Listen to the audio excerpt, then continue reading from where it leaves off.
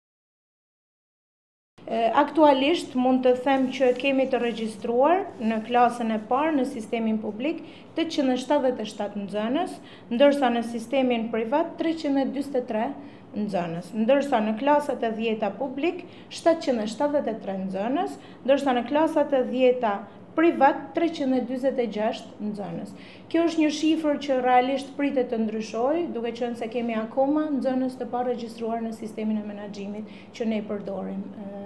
bashkarisht bashkë me institucionet arsimore. Ajo që mund të themi është që aktualisht deri në këtë moment që flasim, kemi një shifër diku te 2% më pak se viti që lamë pas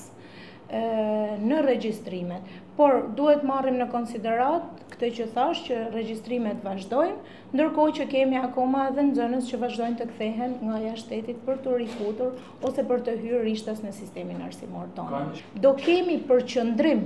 të tre shkollave, dy janë me dakordësinë e prindve, pra që janë prindrit ato që kanë kërkuar që nxënësit pra fëmijët e tyre të shkojnë në, që, në shkollën qendër, edhe për shkak të shumë arsyeve, shkolla Gjergj Laca në Pentar, që do përqendrohet në shkollën e mesme të bashkuar qendër, Dhe kemi edhe shkollën Baks Rrjoll, që do, për, do shkojnë nxënësit e shkollës Baks Rrjoll vartëse në shkollën Qendër Gjergj Vatë Martini. Kemi e, shkollën Mali Kolaj, që është një shkollë që është diskutuar edhe vjet, e,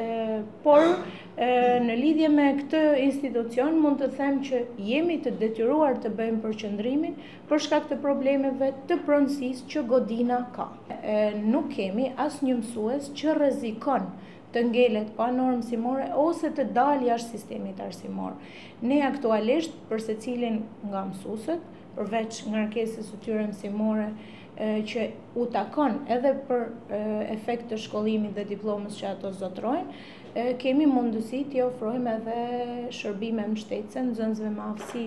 të me aftësi ndryshe që frekuentojnë shkollat tona. Nuk ka asnjë shkollë që rrezikon klasat e dhjeta, mund të kemi shkolla në njësi shumë të largëta administrative, Xhan, Plan, Bruçaj, që rrezikojnë të mos kenë nxënës në klasën e parë.